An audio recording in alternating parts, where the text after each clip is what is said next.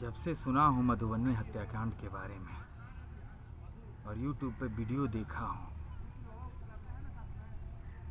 बहुत परेशान हूँ। मैं यह सोचकर परेशान हूँ कि कोई किसी व्यक्ति को कैसे काट सकता है, वो भी निर्दोष व्यक्ति को, जो कि बेचारे एक फौजी और उसके पूरे परिवार होली में अपने घर में थे। होली मना रहे थे। उसको पहले गोली मारा, फिर उसको काटा। ऐसे लोगों को तो फांसी की सजा होनी चाहिए। और मैं बिहार सरकार से मांग करता हूँ कि जल्द से जल्द उन सभी हत्यारों को पकड़ा जाए और फांसी की सजा दी जाए। जब उन बच्चों के बारे में मैं सोचता हूँ।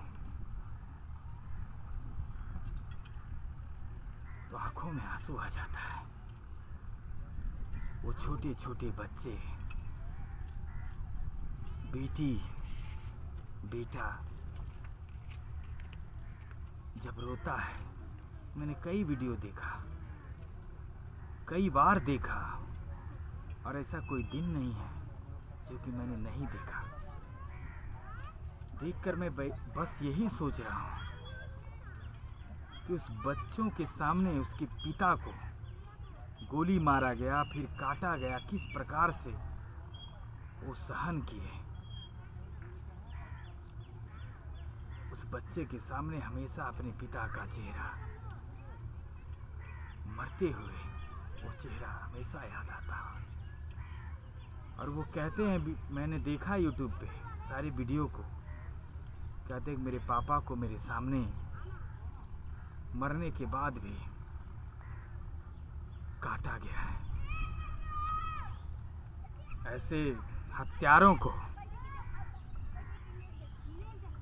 कड़ी से कड़ी सजा मिले और सीधे मौत की सजा मिले और उस प्रकार का मौत हो जिसे देखकर लोग ऐसा घिनौना हरकत करने से पहले एक सौ बार सोचे।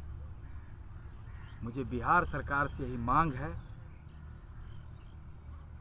और मोदी सरकार से भी कि इस पर पहल करें और जल्द से जल्द गुनाहगारों को कड़ी से कड़ी सजा दें, ताकि और किसी का घर बर्बाद ना हो।